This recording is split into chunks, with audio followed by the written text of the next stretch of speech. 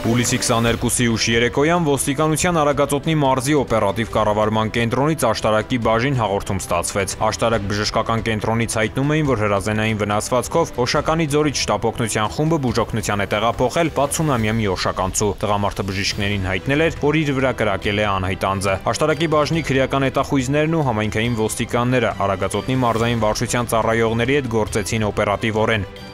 Պարզվեց, Օշականի ձորում 60-ամյա տուժողը կենցաղային հարցերի շուրջ վիճաբանել է նույն գյուղի 55-ամյա բնակչի հետ եւ վերջինս իր մոտ եղած ապօյնի որսորդական հրացանով երկու անգամ կրակել է նրա ուղությամբ, պատճառելով հրազենային վնասվածք։ Նույն օրը ժամը 23:30-ին 55-ամյա տղամարդը հայտնաբերվել, ձերբակալվել եւ տեղափոխվել է ոստիկանության աշտարակի բաժին, որտեղ խոստովանել է արարքը։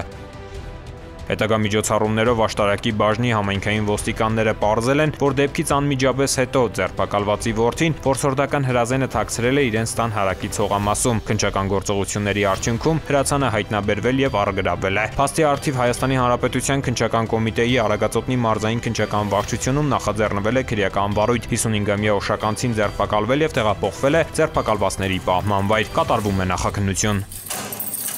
Ծանուցում. Ենթադրյալ հանցանքի մեջ կասկածվողը կամ մեղադրվողը համարվում է անմեղ, քանի դեռ նրա մեղավորությունը ապացուցված չէ Հայաստանի Հանրապետության քրեական դատավարության օրենսգրքով սահմանված կարգով՝ դատարանի օրինական ուժի մեջ մտած դատավճռով։